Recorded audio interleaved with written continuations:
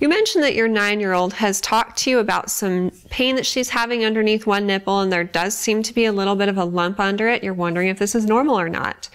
And ultimately, I suggest talking with her doctor, and after performing an exam, they'll be able to give you tailored information and advice about it.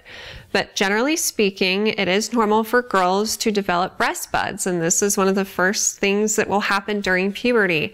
Um, in addition to starting to grow hair in the pubic area and underneath the armpits, their skin becomes more oily, and not only do they get taller, but they may also have wider hips and have um, an accumulation of fat around their buttocks and their stomach. And all of this is a normal part of puberty in addition to starting the period.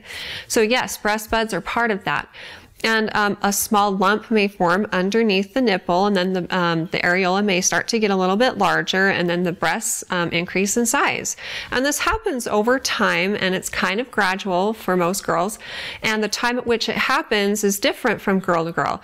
Puberty can start as early as eight, and, and then it can start, some are late bloomers and don't start to go through it until they're 12, 13, 14. And so again, I do suggest talking with your child's doctor, and they'll be able to determine if it's part of puberty or further investigation is warranted. If you have more questions in the future for me, feel free to ask them on our Facebook page at facebook.com forward slash Intermountain Moms and recommend us to your friends and family too.